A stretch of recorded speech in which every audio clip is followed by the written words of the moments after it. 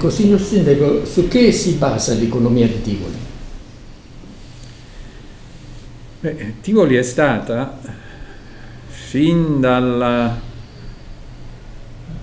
anche dalla seconda metà del Settecento, anche se allora l'accezione eh, economia industriale aveva un altro significato. Tivoli è stata una città industriale soprattutto dalla fine dell'Ottocento agli anni 60-70 del Novecento.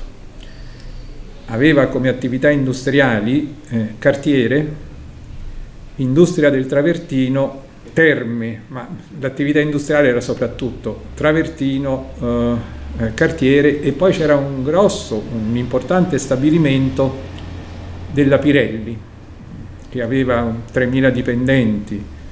Pensate che le cartiere erano molte, ma eh, nei primi anni del Novecento una sola di queste aveva più di 500 dipendenti. Perché le cartiere? Perché eh, la ricchezza di Tivoli si è basata per millenni sull'acqua. Eh, la grande cascata di Tivoli, eh, il fiume, la grande cascata costituivano eh, la base per una forza motrice che era quasi gratuita.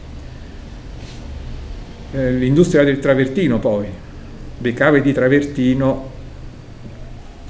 e gli stabilimenti per la lavorazione del travertino. Travertino sta per Lapis Tiburtinus, pietra di Tivoli. Si pensi soltanto che eh, con la pietra di Tivoli, con il travertino, è costruito il Colosseo, è costruito il eh, colonnato del Bernini di Piazza San Pietro, è costruita la Fontana di Trevi e così via. Si potrebbe continuare attraverso i millenni. Oggi ancora il travertino è eh, una pietra eh, pregiata impiegata eh, per costruzioni eh, architettoniche importanti nel mondo. So, la sede centrale della banca di Cina a Pechino è in travertino. Erano in travertino i rivestimenti delle torri gemelle, eh, purtroppo oh, oggetto eh, degli attentati che hanno portato alla loro distruzione. È in travertino uh, il Getty Center di Los Angeles, il Getty Museum di Los Angeles. Quindi questa è stata tradizionalmente l'economia tiburtina, non tanto agricola quanto industriale. Uh, a seguito dell'istituzione della Cassa per il Mezzogiorno, poi eh, questa tradizione industriale, la consistenza, quantitativa di questa uh, economia industriale è venuta un po' meno perché eh, naturalmente l'industria è nata laddove c'erano agevolazioni a poche decine di chilometri di distanza. È rimasta ancora una base industriale a Tivoli. Lo stabilimento della Pirelli è stato acquisito da una multinazionale svedese che è Trelleborg e che ormai credo che eh, insomma, abbia ripreso ad assumere i dipendenti pur con i processi di automazione eh, delle attività lavorative il numero di dipendenti credo si aggiri oggi intorno agli 800 è attivo all'interno dello stabilimento un centro di ricerca eh, dal quale escono innovazioni per tutti gli stabilimenti eh, sparsi nel mondo di Trelleborg. C'è ancora eh, attività industriale legata al travertino, sia alla estrazione che alla lavorazione, alla filiera completa. C'è poi una serie di mh, più piccole industrie, ecco, tenete presente che Tivoli ha quasi 60.000 abitanti, i eh, residenti anagrafici sono 57.000 e, e, qualcosa, quelli presenti sono eh, anche di più. Ha una eh, chiamiamola colonia, ha una presenza di immigrazione soprattutto dall'est Europa importante. A Tivoli c'è una comunità ortodossa composta soprattutto da romeni di oltre 5.000 persone, con una loro eh, chiesa. Eh, Tivoli ha puntato di recente molto anche sul turismo. Tivoli, pur essendo sede di industrie, eh, ospita sul proprio territorio due siti UNESCO, cioè due eh, siti appartenenti al patrimonio mondiale dell'umanità delle Nazioni Unite, che sono Villa Adriana e Villa d'Este.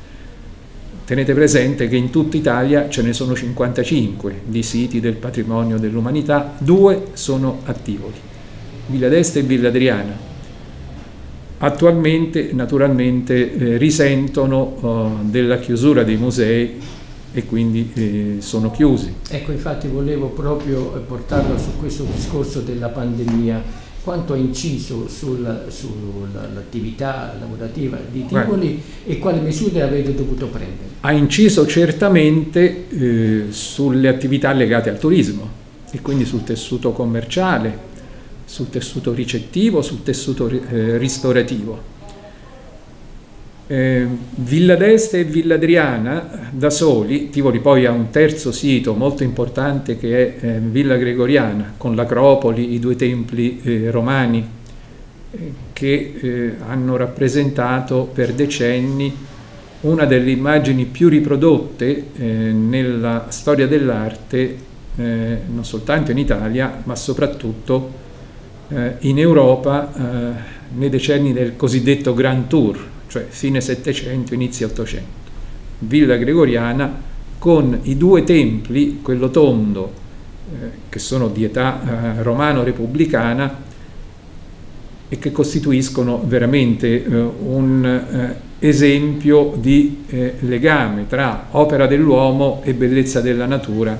A Tivoli c'è una cascata che dopo quella delle Marmore è la seconda per altezza in Italia, è alta più di 120 metri eh, naturalmente la chiusura dei musei di Villa d'Este, Villa d'Este e di Villa Adriana ha ridotto drasticamente il numero uh, dei turisti. Villa d'Este e Villa Adriana contavano uh, fino all'anno scorso eh, tutti e due eh, circa 800.000 visitatori, biglietti staccati all'anno. Sono musei statali, sia Villa d'Este che Villa Adriana eh, era vicina ai 100.000 Villa Gregoriana, quindi eh, Tivoli mh, fino all'anno scorso era visitata quasi da un milione eh, di eh, turisti. Si è drasticamente ridotto questo numero, i musei attualmente, ripeto, sono chiusi, ehm, credo che quest'anno, alla fine dell'anno, non si arriverà complessivamente al numero di 100.000 turisti soprattutto italiani, quasi esclusivamente italiani. Il tessuto eh, commerciale ha risentito di questo, ha molto risentito di questo. Eh, ecco, c'è da tenere presente però che eh, le attività industriali eh, invece, eh, ecco, pensate che lo stabilimento della Trelleborg non ha sospeso l'attività neanche per una sola notte, naturalmente nello stabilimento Trelleborg eh, si lavora su tre turni giornalieri 24 ore al giorno. Quindi eh, questo che cosa vuol dire? Vuol dire che eh, alcuni settori, anche importanti, hanno tenuto, hanno tenuto. e questo ha limitato eh, gli effetti eh, sul tessuto economico produttivo del territorio tiburtino, gli effetti della pandemia. Della ci sono certamente e sono stati notevoli quelli eh, relativi alla caduta del turismo e delle attività ad esso legate. Signor Sindaco, mi consenta di farle questa domanda, visto che lei ha preso anche una medaglia d'oro dal Presidente della Repubblica per bene meriti della cultura e, e, e dell'arte, ma lei lo ritrova giusto aver chiuso i musei? Eh, guardi, eh, giusto no, necessario forse sì, perché ancora oggi eh, le misure che sono state adottate dal governo o dalla regione si sono rivelate insufficienti a limitare eh, i contagi. Noi da diversi giorni ormai in Italia contiamo centinaia di decessi al giorno. Siamo arrivati, credo una ventina di giorni fa, ad avere quasi mille decessi in un solo giorno. Tutti i provvedimenti tesi a limitare i cosiddetti assembramenti sono stati mirati proprio eh, ad evitare che il contagio potesse avere eh, quantità eh, più importanti. Quando dico contagio dico anche eh, decessi. Assolutamente sì. Senta, per quanto riguarda le scuole qui a Tivoli, come vi siete comportati? Eh, guardi, abbiamo, Tivoli ha una popolazione studentesca di diverse migliaia di eh, alunni e di studenti. Eh, sono stati disposti eh, sono state disposte per alcuni istituti temporanee sospensioni delle attività didattiche in presenza proprio per alcuni casi manifestatisi all'interno di scuole. Attualmente tutte le scuole eh, primarie, elementari e medie sono aperte. Eh, ci sono state, ripeto, soltanto sospensioni delle attività didattiche disposte anche dal comune, ma per periodi limitati. E noi abbiamo avuto su una popolazione residente di eh, oltre 57.000 abitanti eh, in tutto dal primo mm, manifestarsi della pandemia, quindi dal mese di marzo ad oggi, di oltre 2.000 casi di contagio. Devo dire che siamo stati, Tivoli ha rappresentato una sorta di isola eh, risparmiata dal contagio nei primi sei mesi, da marzo ad agosto compresi. Ivi compresi quindi due mesi duri di marzo ed aprile. Beh, nei primi sei mesi eh, questa città ha avuto complessivamente 57 casi di contagio, con 5 decessi di persone anziane e affette da, da gravi patologie connesse. Però in sei mesi 57 casi sono nulla. Sono assolutamente pochi. Con 5 decessi, eh? Certo, certo. Io mi sono molto preoccupato nel mese di settembre, quando nel mese di settembre i casi soltanto per quel mese sono stati 39.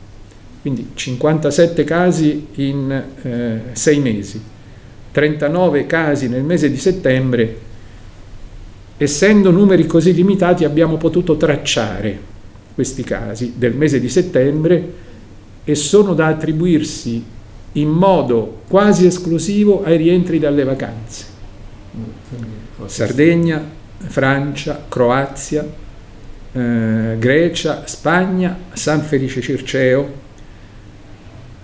Nel mese di ottobre i casi sono stati 548 nel solo mese di ottobre, quindi c'è stata una... nel mese di novembre sono stati 1040. Mm, ormai non è più possibile tracciarli. C'è stato certamente eh, un motivo nell'impennata che ha avuto origine, ha posto le sue radici nel mese di settembre, è stata quella del rientro dalle vacanze. E questo lo abbiamo potuto tracciare. Con, noi pubblichiamo ogni giorno quotidianamente il numero dei positivi, sia degli attuali positivi, sia dei positivi dall'inizio ad oggi, diviso per quartieri, per fasce di età e per genere. L'età media dei contagi, su oltre 2000 contagi, è ad oggi di 45 anni. Ecco, ecco signor Sindaco, mi consenta un'ultima domanda. E quali sono gli appuntamenti tradizionali ai quali avete dovuto rinunciare e che le dispiace di più? Tutti, eh, a partire dal eh, Tivoli secondo eh, storici antichi come Cassio Dione, come Catone il Vecchio, è stata fondata nel 1215 a.C. Il Natale di Tivoli, cioè il giorno nel quale si eh, ricorda la fondazione della città, cade il 5 aprile. Il 5 aprile era quest'anno in piena, eh, pieno lockdown, era uno dei due mesi duri, marzo e aprile.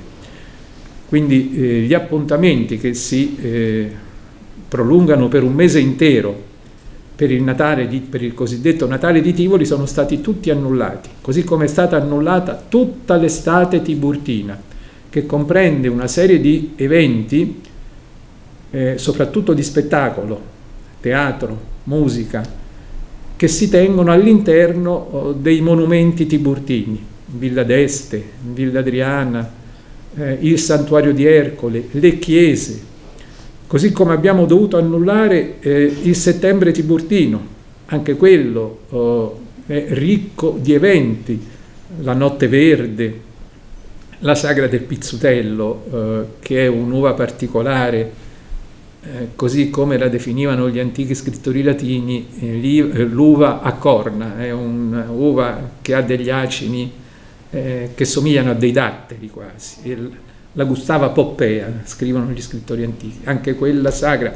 Abbiamo dovuto annullare tutti gli eventi eh, che si tengono ogni anno per il eh, periodo di Natale.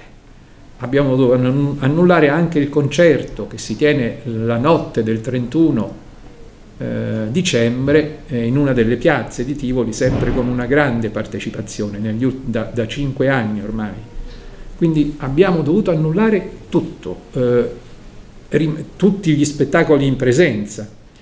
Abbiamo cercato di eh, sostituirli parzialmente eh, attraverso eh, i media e quindi eh, spettacoli con la partecipazione di associazioni musicali o di altro genere, associazioni storiche attivoli, attraverso dei video che vengono diffusi sulla rete dei media oltre che dai siti comunali, ma abbiamo dovuto annullare tutto. Signor Sindaco, mi consente di farle quest'ultima domanda poco giornalistica e molto nazional popolare, però è molto accreditata ai nostri telespettatori. Venendo a Tivoli, che cosa gli consiglia di mangiare? Qual è la gastronomia tradizionale? Ma eh, guardi, gastronomia tradizionale, ci sono naturalmente molti ristoranti a Tivoli, eh, forse ecco uno degli effetti del, delle limitazioni governative e regionali è stato proprio quello della chiusura dei ristoranti la sera, bar e ristoranti, l'asse che attraversa tutto il centro di Tivoli, che è circa, credo, un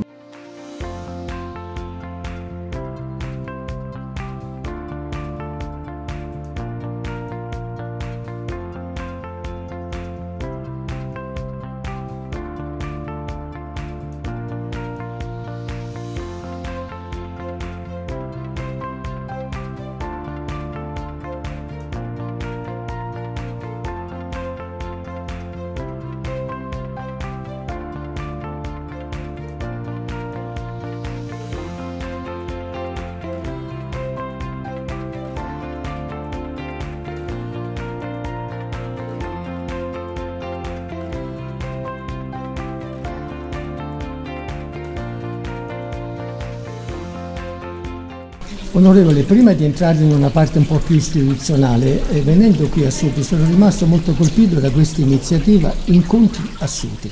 Che cosa significa? Di che cosa si vuole parlare?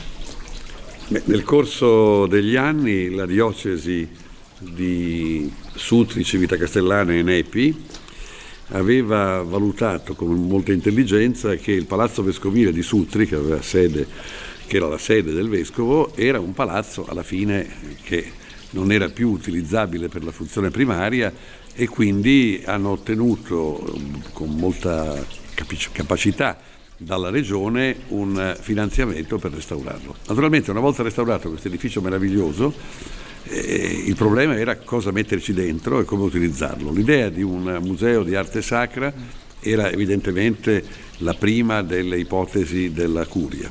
Poi in un accordo con la, il comune con il precedente sindaco tra l'altro, il vescovo ha destinato il palazzo al comune perché ne facesse quello che riteneva opportuno.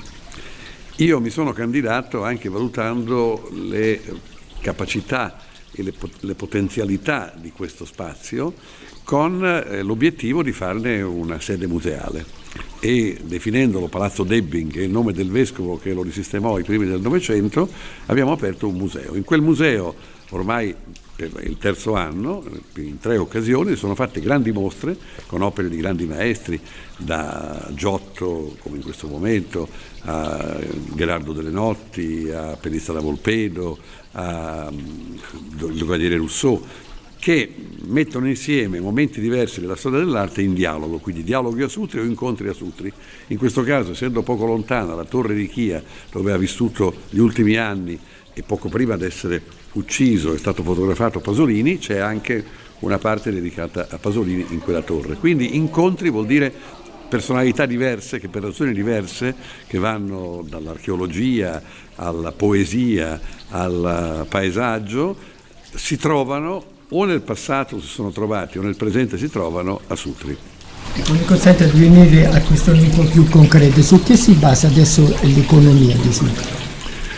Ma l'economia di Sutri è un'economia agricola eh, con una tradizione legata alla coltivazione del nocciolo, che è una delle prerogative dell'intera area, e su un'economia turistica che si è eh, potenziata da quando io sono arrivato attraverso la forte propaganda e comunicazione che io ho fatto di Sutri come capitale della Tuscia e in realtà unico luogo dei tanti bellissimi che ha un museo funzionante perché Viterbo ha alcuni problemi, il museo di Bomarzo è un bellissimo parco, il museo di Caprarola è un museo statale, qui abbiamo creato eh, un museo civico, eh, sia pure connesso come abbiamo detto con la curia, che è una ragione di attrazione attraverso le attività che ogni anno vengono proposte in un ciclo molto ampio di iniziative. Quindi l'economia turistica, quella di ottimi ristoranti che sono competitivi e tutti frequentati con persone che evidentemente li hanno scelti come luoghi di eh, riferimento, rende il turismo un'attività eh, importante che è cresciuta negli ultimi tre anni in modo molto evidente. Ecco, Covid a parte, eh, a Roma arrivano 12 milioni di turisti ogni anno.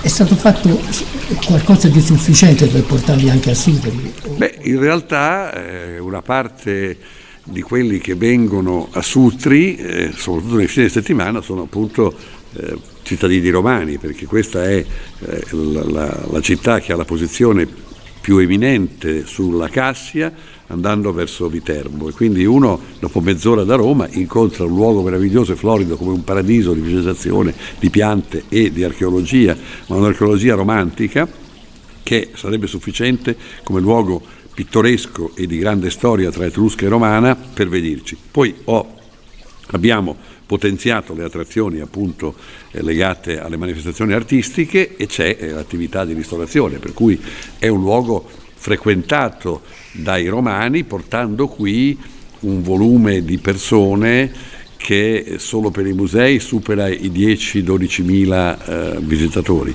e per i ristoranti credo anche di più, quindi andrebbero valutati. Ecco, quali sono le misure che ha dovuto prendere, tra parentesi, su Malgrado per il Covid così?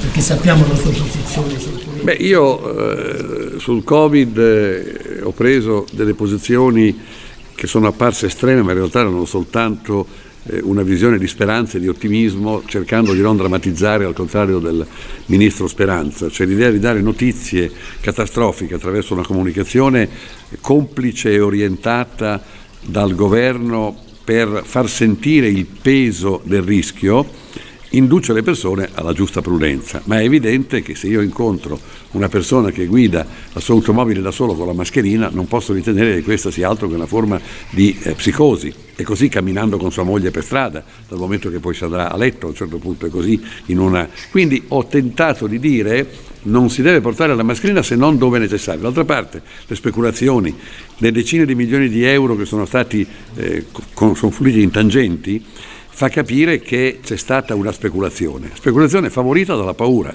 per cui la mia posizione è stata quella di rassicurare i cittadini che nella prima fase non avevano neanche un contagiato e nella fase questa evidentemente ehm, sottovalutata dal governo, la situazione è meno eh, eh come dire, eh, di, di, di compiacimento per la salvezza e la sanità della città, però comunque si tratta di numeri molto limitati.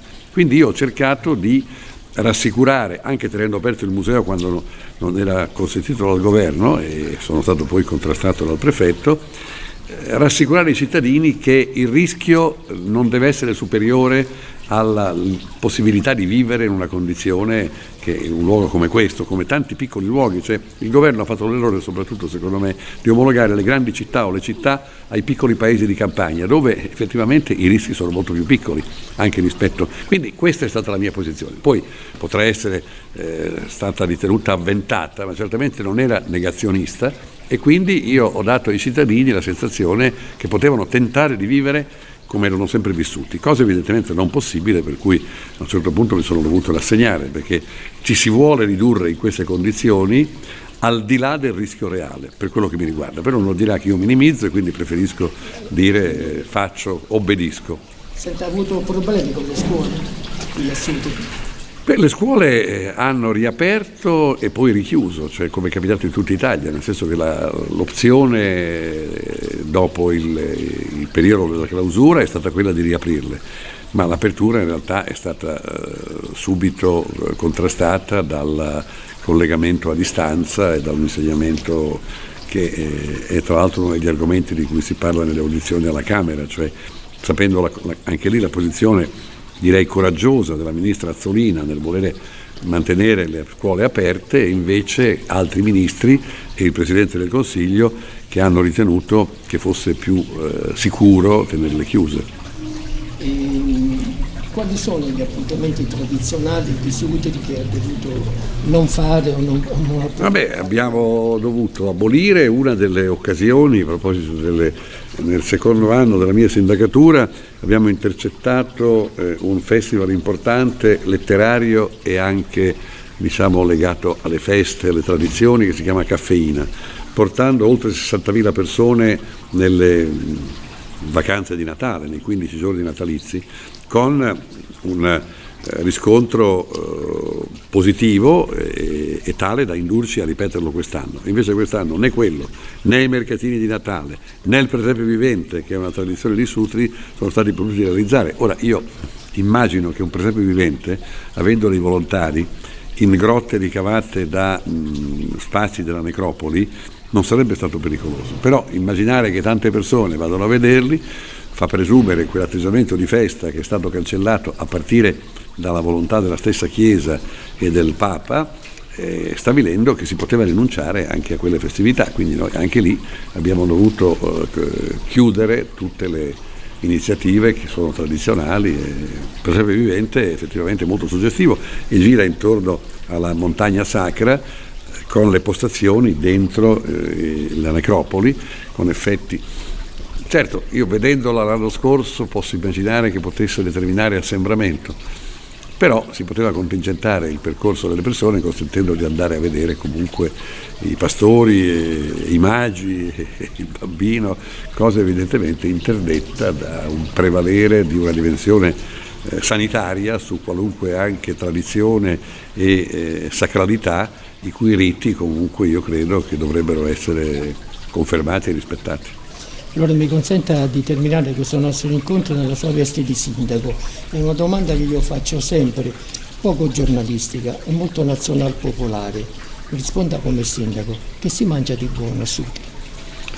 Allora, a Sutri c'è una tradizione del fagiolo che io però non mangio, quindi per quello che mi riguarda il eh, Sutri ha un'ottima tradizione di primi piatti, di tagliatelle e di diciamo, eh, condimenti legati a, ai ragù eh, tradizionali o ai funghi, per quello che io posso... Poi eh, quale sia la tradizione, dico, oltre a questa del fagiolo che è storica, ma immagino anche un po' limitata dal nocciolo, eh, c'è anche la cacciagione, ma non vorrei entrare in una sfera nella quale poi eh, valutiamo l'inopportunità di mangiare gli animali. Insomma, la, la mia posizione personale è di essere un primista, io sono un mangiatore di primi e quindi i primi di eh, Sutri sono sempre molto carichi e, e, forti, ci sono alcuni ristoranti che conoscono le mie predilezioni, quindi io vengo assistito in tutti i primi tradizionali, soprattutto appunto le tagliatelle e gli spaghetti.